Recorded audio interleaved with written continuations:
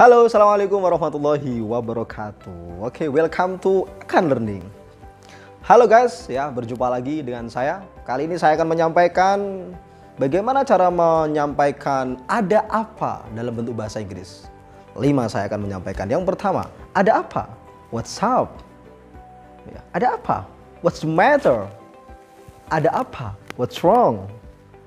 Ada apa? What's going on? Ada apa? What's the problem? Mungkin itu bisa membantu dan sampai jumpa. Assalamualaikum warahmatullahi wabarakatuh.